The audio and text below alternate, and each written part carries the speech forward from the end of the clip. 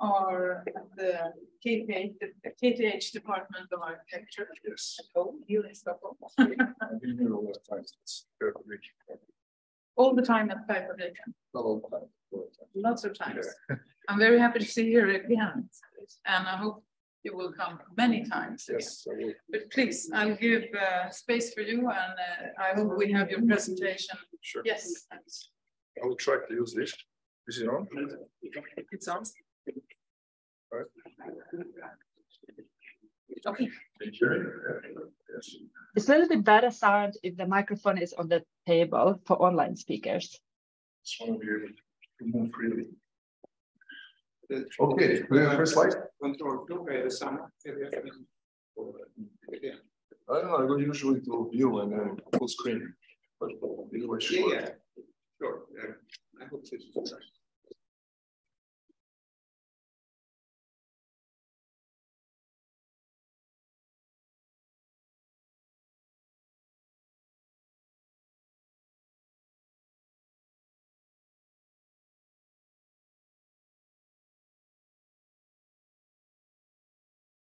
Is the one?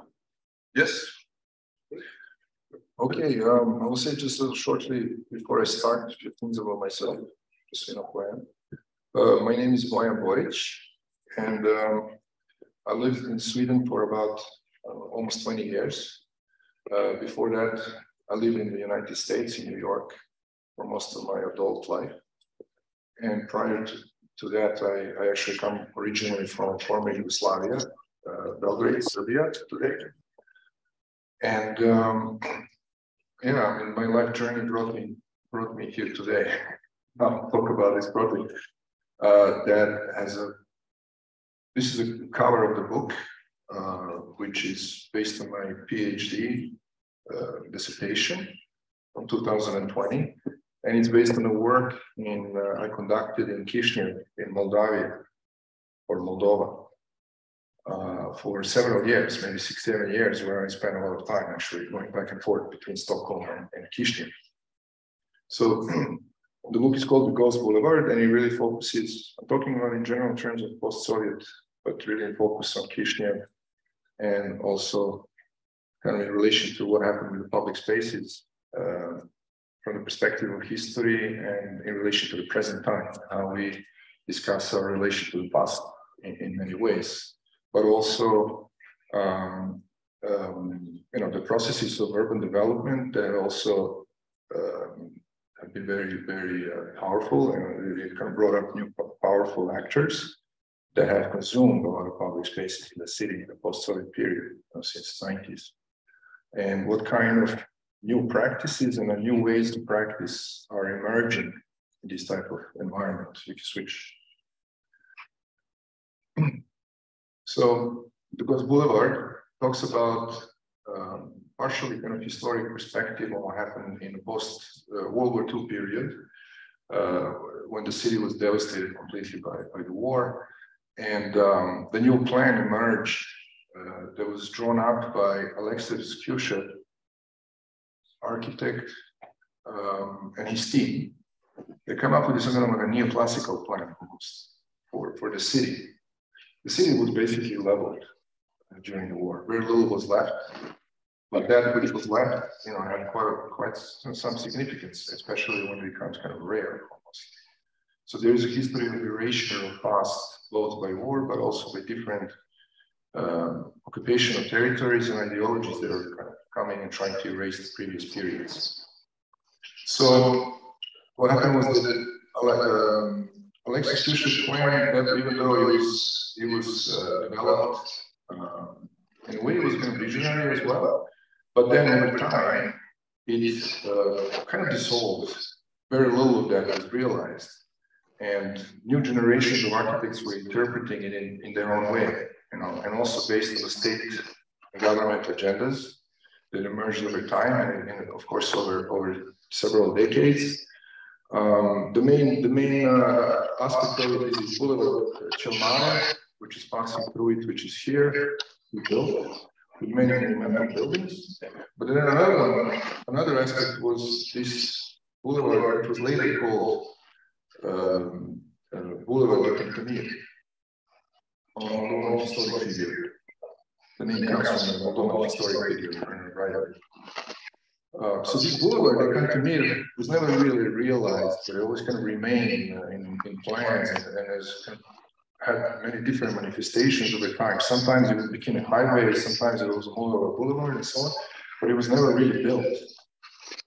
And um, in the um, in the later times, uh, especially at the break of, of the Soviet Union, this unrealized boulevard even though you could say that after 34 years, you know, not being completed, it almost was forgotten.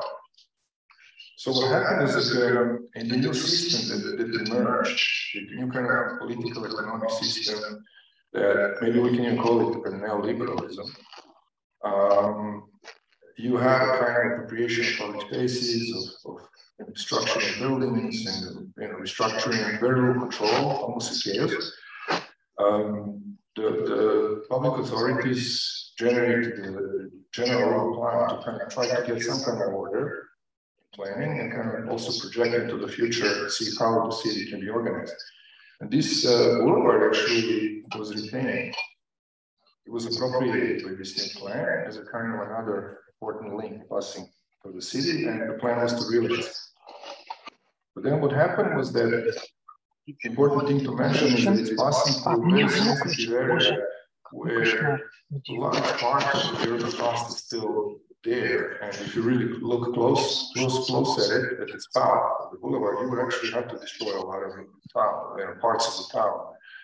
They call it the kind of urban village, um, with some some significant architectural buildings, but also a lot of different local communities that still live there. And really were not fully aware that this boulevard would even be built. So now it's being brought back uh, in, in, the, uh, in the late 90s, start of 2000. Um, the general urban plan uh, is from 2007, when which actually represents a legal document. Uh, sorry, would you please the microphone uh, down? Some of the some of the civilians, some of the people from the local community, together with some other art groups, and um, uh, historic organizations, they they um, decided that maybe this is not such a good idea, and they did put pressure on politicians. And in 2012, the new uh, land zoning plan was developed, which was rejected by the parliament. So now we have a situation when we have one official plan, which is legal, and another one which is illegal. And this brought a standstill to the entire planning of the city, actually. And then the question came up, so what now?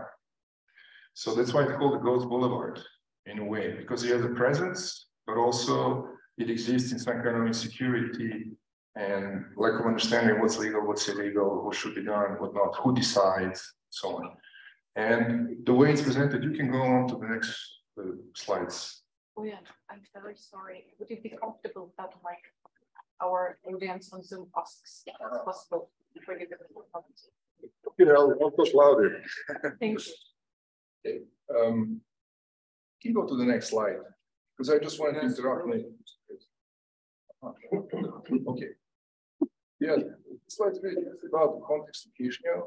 I will continue talking about the boulevard but just to talk about you know, um, Kishinev and Moldova, they're kind of on the way to EU, uh, at least in the in, in their um, idea of the future. Most of the people, I would think, but at the same time, they're kind of stuck in this limbo between European Union and, and, and the rest of uh, the world. And um, Moldova is, is kind of placed in a very sensitive area between geopolitical forces in the world. So, and this is not only now, this has been historically like that, you know, with many shifting boundaries, we're not defined identity, trying to assert identity and so on.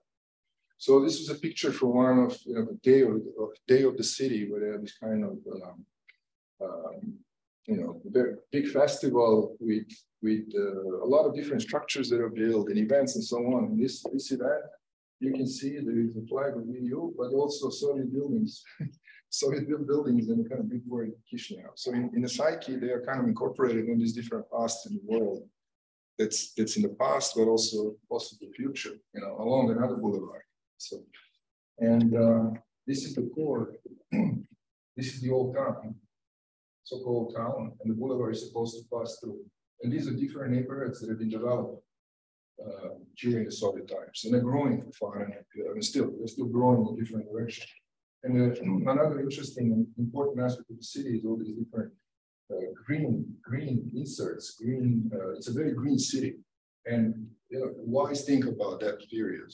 Uh, let's say period of Soviet, Soviet planning was actually to incorporate a lot of green spaces. Uh, maybe even similar to green gröna kilar in Stockholm. And this is Moldova. so uh, if you can go to another slide.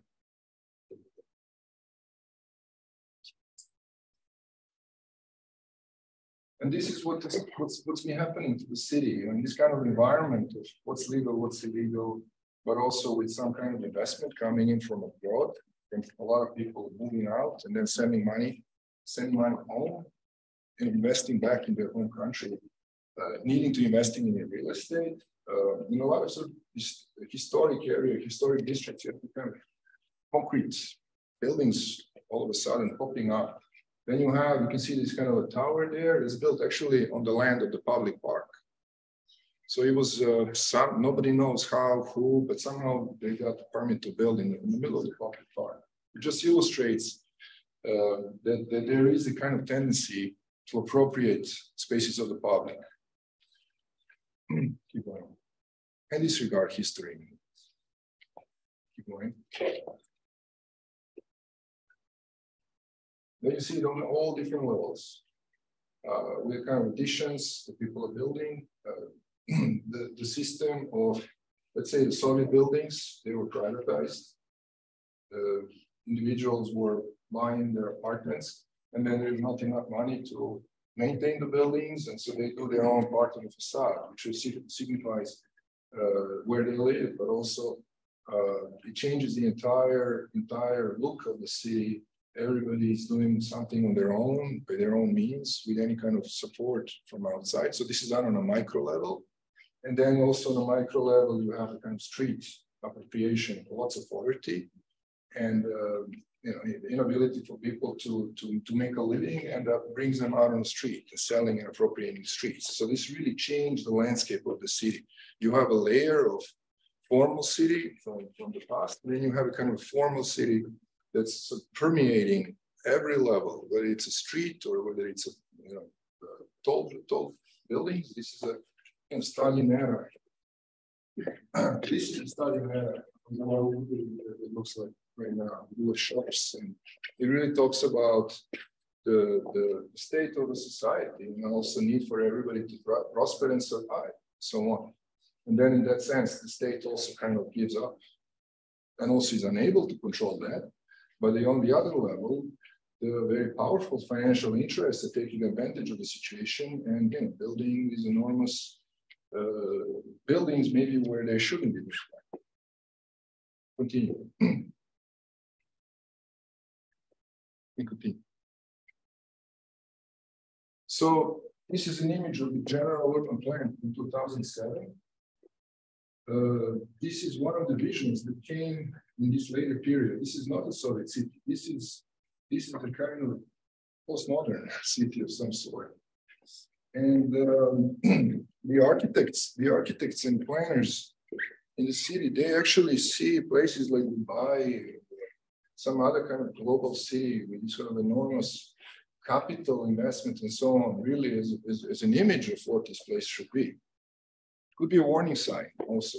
Know, how do you develop it? So the period, who is involved and who has the power, how you get to the power position, the relation between the public and private interests, but also which public interests, whether it's for the local people, is it done through a democratic way, or is it done through some kind of schemes behind the door and, and you connections and uh, disregard of the, of the law.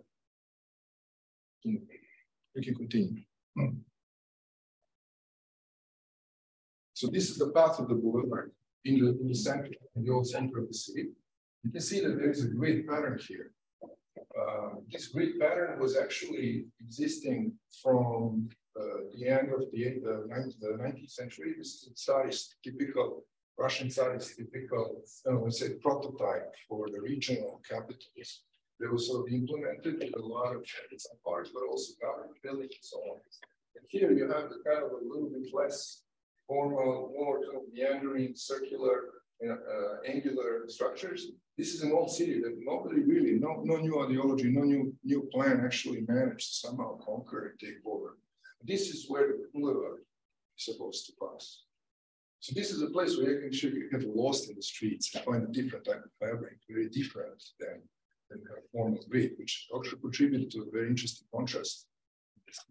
So as I mentioned before, there is quite a lot of interesting buildings here from the past, but also very important, let's say, communities and neighborhoods. There is also um, historic uh, remnants of Jewish history here, because the Jews actually were almost majority in the beginning of the 20th century, and they were uh, erased and destroyed. So there is also that kind of heritage here, with small fragments and, and stories parts of history. These yellow dots were traced by this uh, art organization that I've been working closely with, they're called Oberliht. They're the ones who actually brought attention to this construction of boulevard. They discovered there's a lot of reconstruction construction happening here along. So the boulevard became, even though it doesn't exist, it, it, it became a generator of urban development because it's, it's, it's anticipated. So you, if you anticipate something, then you can actually act before it happens. Um, and this is the, the red lines that we drawn from the official documents. So this is. It, it permeates that fabric here just kind of, kind of cuts through. Only two parts were built actually, this one and this one. And the rest is really, in reality, uh, existing neighborhoods. So it's interesting also what happens in these areas here that were not built. There's this kind of strange concrete area where there's also illegal structures built on top of it. So I mean, here are some kind of solid towers, but also uh, new uh, casinos and, and, appropriated buildings that conversion houses. Uh, and this eventually leads to the airport. Uh, and this is the this is the document that's been rendered illegal. So I'm talking, I'm talking about, when I talk about ghosts, I talk about actually the red lines. I also talk about uh, the red lines of, of, these documents that are haunting the city, but also as it passes through, as people realize that this is happening or this may happen, then also wakes up many, many actors. It also disturbs the, the, both the people in the ground and also shakes up the power structures can go further. So ghost is actually not metaphysical ghosts, like you know, in, in a horror film or a story, but it's actually something that people create. It's created by the people, by their memory, by their imagination, by documents, by even buildings. So it materializes in many ways. So yes, here I talked about how this mapping actually of the city and understanding that in fact it's the presence of, of this idea of the boulevard is actually activating a lot of construction on, on its way. We can change the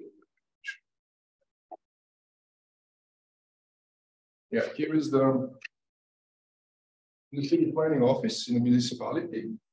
This is a huge model the last uh, plan for the city before the end of Soviet Union. And it's still sitting on the wall. You know, the, the, the two empty chairs and the table here are probably meant for, for somebody who comes in and makes a proposition and then sit, sit together with the city planner. But in the background is always this big plan. It's still there. And then here, here we see the visions of Boulevard here, uh, Boulevard actually is here. These kind of Dubai-like architecture structures. This is the actual vision this is actually a view from above where you use a drone, film it all over the building. This is one of the images that you can see the, the boulevard they continue and then coming to where it's not, which reflects this, where what it could be. And this is actually from the actual uh, regulatory documents, We show the red line. We pass through, and then they enter this triangulated structure from the old urban. There's some chat here. Can you hear me? Yeah. and um, and so what the story culminates at this little triangle here, which is a park called Zaikin Park, where the activists actually managed to, to congregate and try to stop because that's one very important public space for the local community, or became even more important because you know they saw it as a kind of you, you put a rock in somebody's shoe and you make it difficult to wear the shoes, or you put an obstacle on something and try to stop it at one point, right? Big power. So, so this Zaikin part became like a really important focus of my work and research and all the different people that I encountered that were involved. They were trying to pass, they were trying to preserve the park in many ways and, and you know, and other types of uh, uh, actors emerge. Interestingly enough, this red line here, passes through the park, is actually, even though there is no road here, cars are passing through the park, which is amazing too. You know, I thought, oh, how can it be so that it's almost very strange, ghastly uh, coincidence that it's already becoming a boulevard. You know, passing through it, it became this form of dirt road that municipality accepted. It changed life. I'm almost finished. I know the time is short. Yeah, I think we're out, so we have to, you have to. Yes. It changed.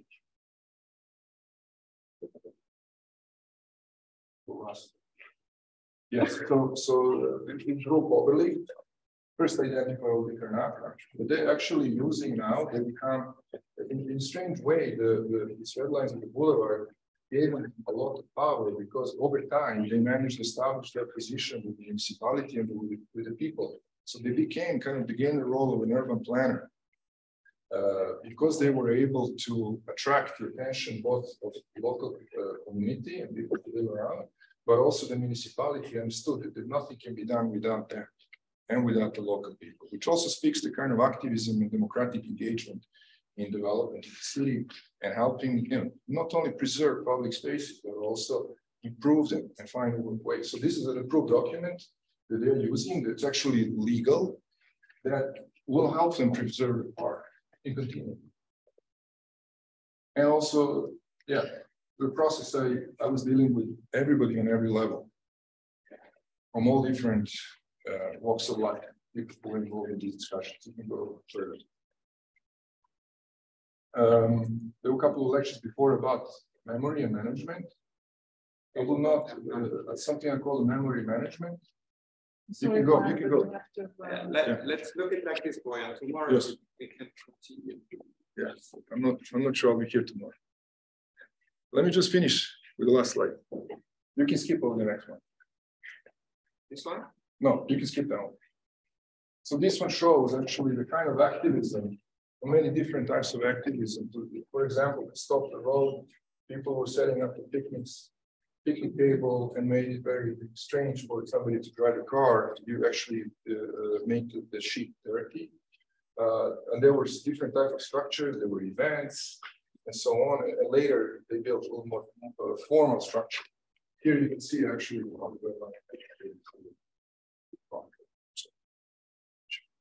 Thank you very much.